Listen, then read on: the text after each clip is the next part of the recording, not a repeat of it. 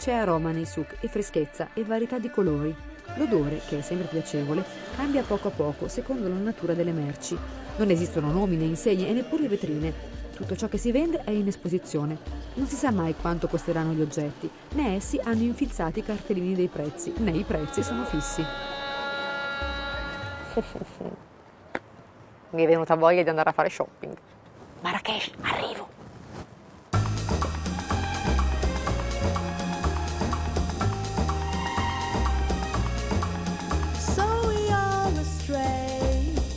Nothing else to do. In another place, I see a different you. Cause we, we loved and lost again. And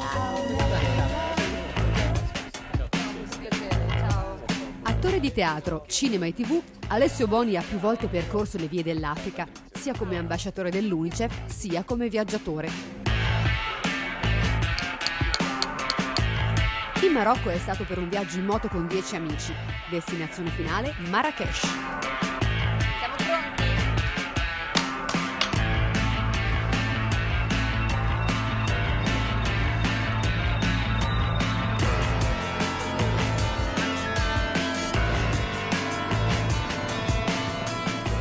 Deciso di raccontarci proprio la città di Sei Marrakesh? partito così. Ah, sono partita Ah, così. io sto parlando con me, visto? direttore della fotografia e tu zampete. Eh, cioè, Allora, parte tutto dalla piazza. La famosa piazza l'ho segnata perché è difficilissimo da dire. Diem en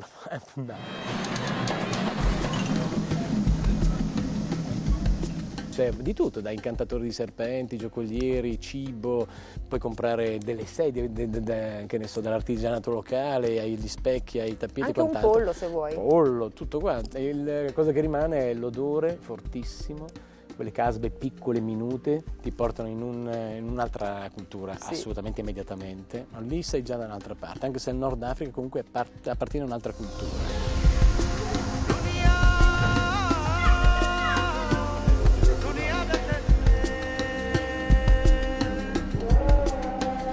Puoi leggere tutti i libri che vuoi su Marrakesh della casa di Marrakesh, de- della sua Babele, diciamo, ma non- se non- non ci vai almeno una volta e non senti l'odore, non senti quei suoni, non senti quella lingua, ti appartiene molto poco.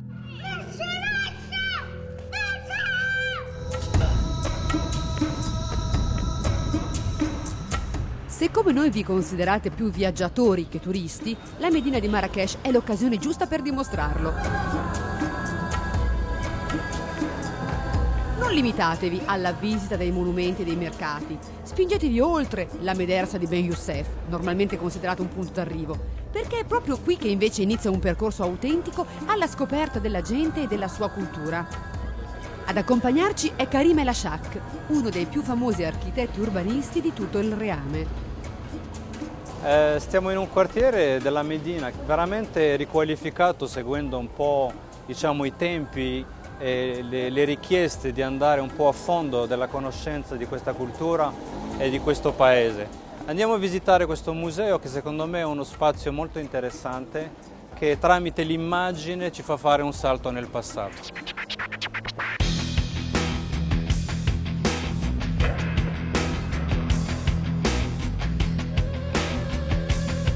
Ecco, siamo mm, arrivati nella Maison de la Photographie, ehm, uno spazio molto interessante perché è il frutto di 15 anni di archiviazione di immagini, uno spazio che riflette veramente e ci permette di andare un po' alla scoperta di quello che incontriamo nel quotidiano come persone nelle- nella Medina.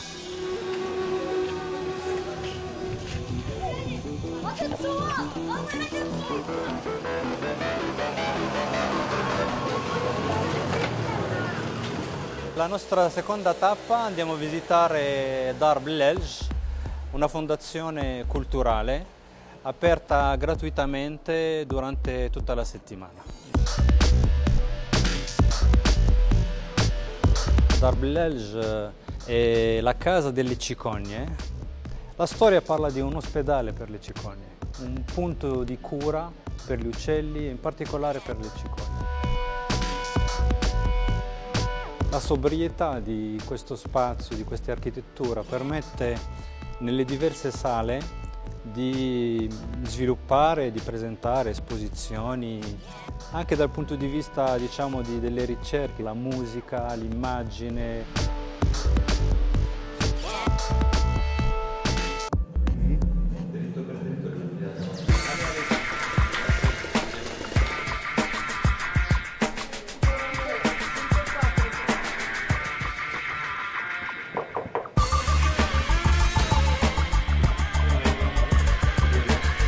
Posto si chiama Dar Sharifah, uno, diciamo, una delle case più antiche di Marrakesh.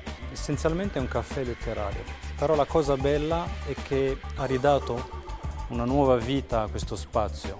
È stata una ristrutturazione attenta, importante, però nella programmazione è molto bello il fatto che sia anche un luogo di incontri, luogo molto dinamico attorno a tematiche molto interessanti di cultura nostra e anche rispetto all'altra parte del Mediterraneo.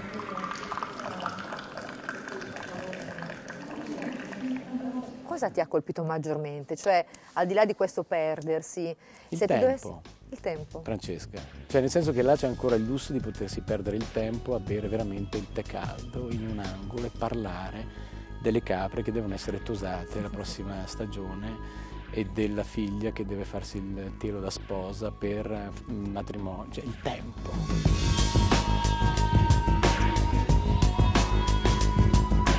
Ti sei viziato? Ma no, è troppo breve.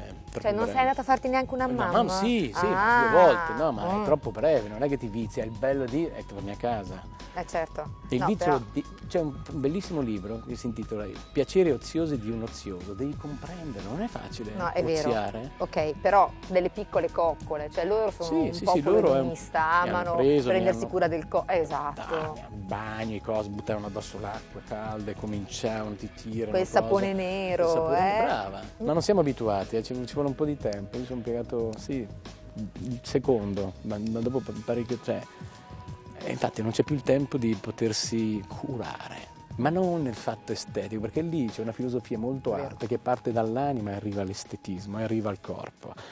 Noi ci fermiamo al corpo la maggior parte delle volte.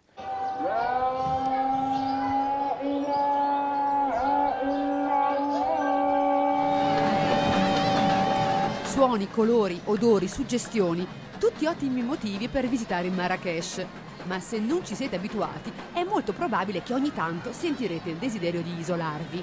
Niente di più facile.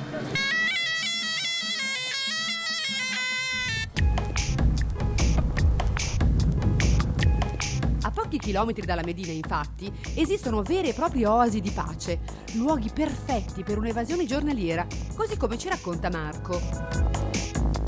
Siamo a 30 km da Marrakesh, all'inizio della valle dell'Urica, ai piedi dell'Atlante.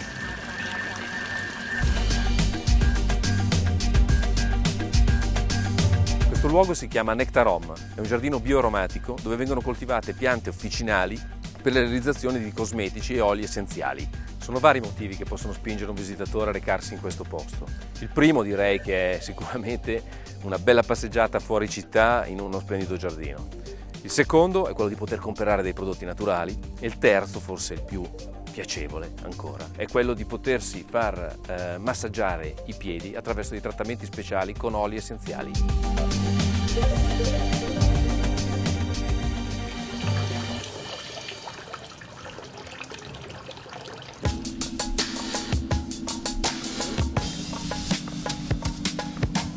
Ci sono vari modi per staccare e per uscire dal caos della Medina.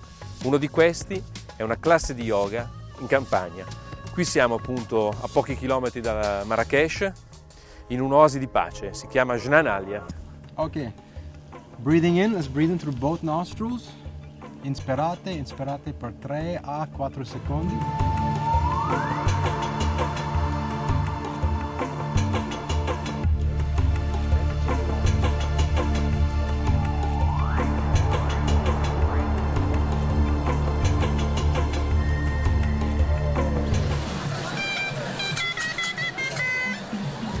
Proprio non volete muovervi dalla Medina, chiudete la giornata con un rito speciale.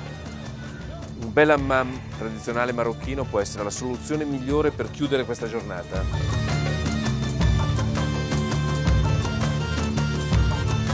Per chi vuole vivere la tradizione dell'hammam senza entrare in una realtà esageratamente popolare, le Bende Marrakesh è sicuramente un luogo interessantissimo. Si tratta di 2000 metri quadrati, una spa, direi, di standard decisamente internazionali.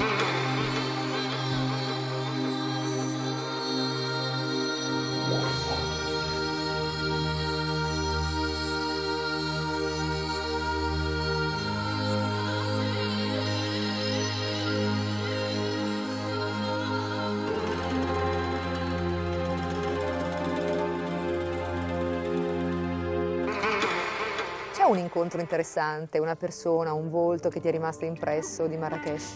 Il volto di un bambino.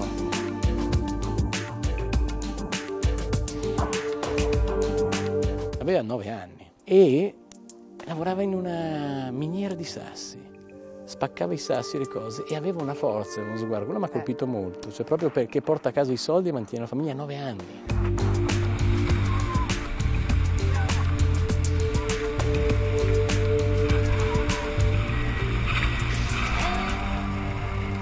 La nostra trasmissione si chiama Effetti personali, un po' Mm. per pensare a quello che tu porti con te quando viaggi, ma anche per indagare se compri qualche cosa, se ti porti a casa qualche cosa dai viaggi. Sempre qualcosa, ma anche una stupidaggine che ricordi qualcosa. Dal, dal Marocco mi sono portato degli specchi, una piccola seggiolina artigianale molto piccola Di legno? di legno, con eh, eh, intrecciata proprio di vimini e poi dei tappeti, due tappeti.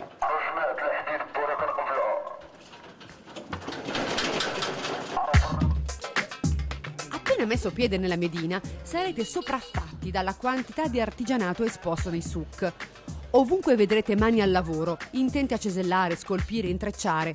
Ottimo se siete in cerca di oggetti caratteristici, troppo se lo stile etnico non fa proprio per voi. In ogni caso, non perdetevi d'animo. La preziosa manualità marocchina ha incontrato un design più evoluto, dando vita ad una produzione preziosa e raffinata. Il posto giusto in cui cercarla è lontano dal centro, come ci racconta Clara. Benvenuti a Sidi Ghanem. Questo è il quartiere industriale di Marrakesh. Si trova a una ventina di minuti dal centro. Io i turisti non, non lo praticano molto perché è un po' distante, però vi consiglio di venire a visitarlo, in quanto si trovano tutti i laboratori dell'artigianato marocchino, e, mm, gli atelier, esposizioni. Adesso andiamo a visitarne uno. E venite con me.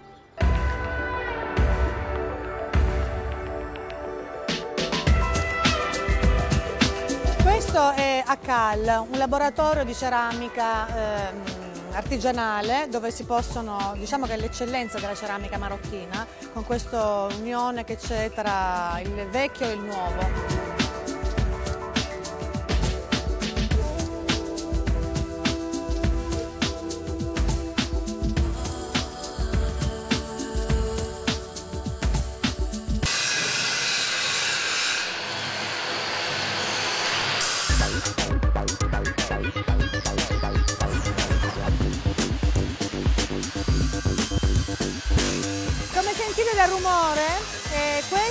Un atelier del ferro e del metallo, Eh, si chiama Le Métier d'hier, il mestiere di ieri e qui eh, rivisitano un po' tutte le oggettistiche che ha a vedere con il ferro, utilizzando anche dei pezzi di recupero.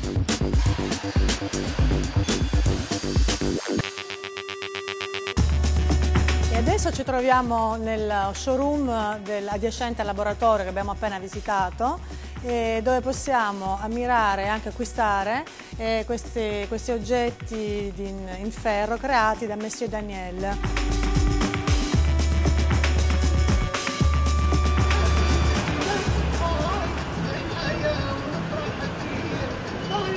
Per l'ultima tappa ci spostiamo nel quartiere di Ghelizze, alla scoperta dei capolavori di Monsieur Yaya.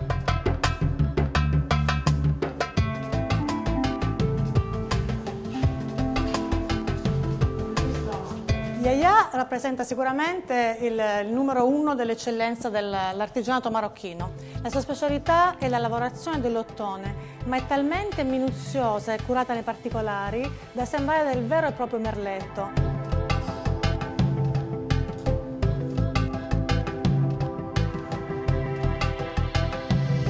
Questi tipi di viaggi però ti avvicinano di più a un viaggiatore che a un turista, non Io non sei sono molto turista, un turista. non sono mai stato turista, non mi piace. Non- Quindi ovviamente mangi il cibo del Ma posto. Devi, eh, devi, ma che stai scherzando? Anche avendo delle spiacevoli sorprese a volte. Una volta capita. mi hanno fatto mangiare ste cavolo di lumache lì alla piazza, no, madonna non ce l'ho fatta.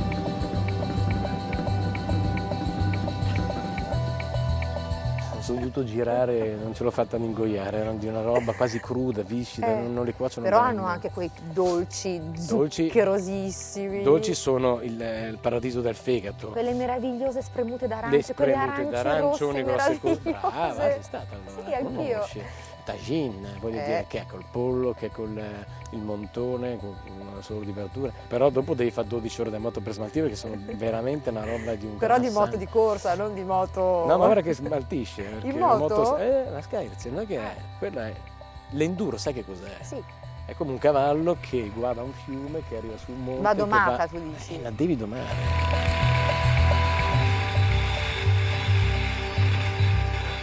Una donna, una gran fatica, su di un sacco di camicie. E poi vince sempre lei, la moto.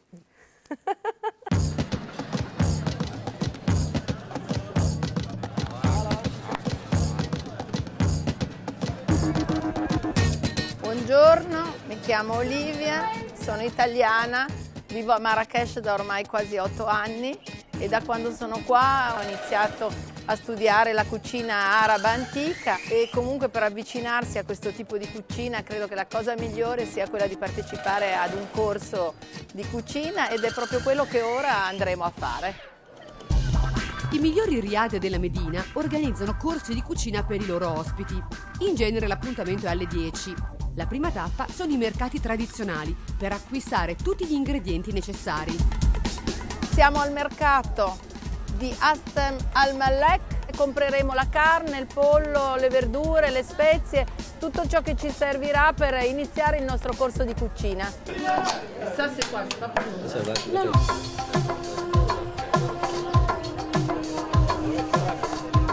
Uno dei segreti della Medina e della buona cucina marocchina è quella che qui ancora troviamo degli ingredienti fantastici, delle verdure meravigliose, Ore 12.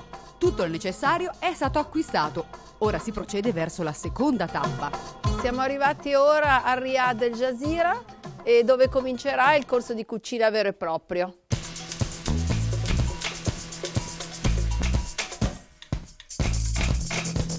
Il menù di oggi che stiamo preparando è eh, il pollo alle erbe, una tagine di legumi verdi, eh, un insieme di insalate marocchine che sarà l'entrée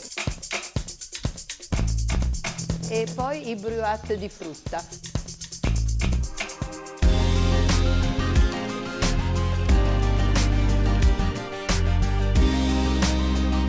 Ecco, ora è il momento più importante del corso di cucina. Siamo tutti insieme a tavola a goderci il lavoro che abbiamo fatto.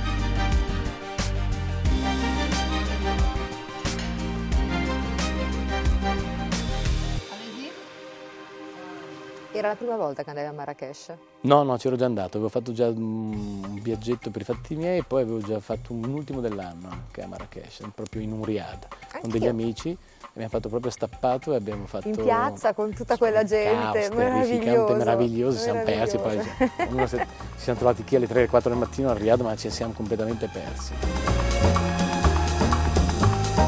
Nostro viaggio non finisce qui. Tra poco torneremo a Marrakesh per conoscerne tutti i segreti insieme ad altri effetti personali di Alessio Boni. again.